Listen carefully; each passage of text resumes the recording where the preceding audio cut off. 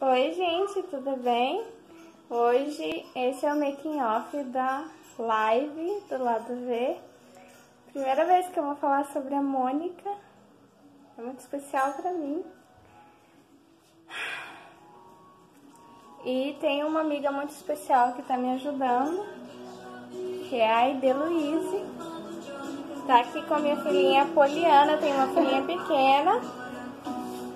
Olha que linda essa amiga. Bem. Com esse vestido japonês. Polianinha. Vai ficar assistindo o desenho. O grande amor da minha filha. É. Então é isso. Espero que vocês gostem da Mônica.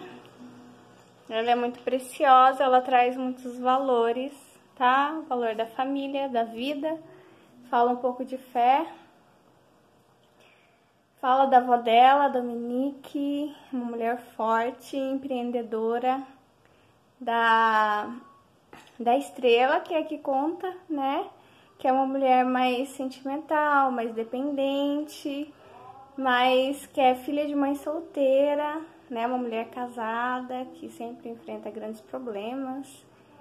E tem essa fortaleza que é a mãe dela, e tem a filha, que é a Mônica, que é muito forte também, e a Mônica precisa conhecer um pouco da história da Dominique, né? E, e é isso. Eu espero que vocês é, gostem da Mônica. Estarei na live daqui a pouquinho, esse é o making off. Agradecendo as pessoas que nos apoiam, né? E a você. Espero que você consiga adquirir o livro, está na Amazon também. Veio o lançamento dia 24 de setembro, uma sexta-feira linda. Esse é meu segundo livro.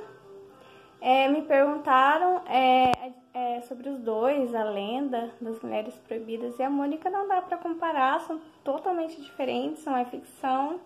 O outro é a Mônica, né? É, acontece em tempos atuais, é um, um drama, um romance.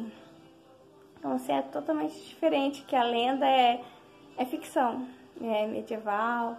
Enfim, eu espero que você consiga ler, adquirir os dois, tá bom?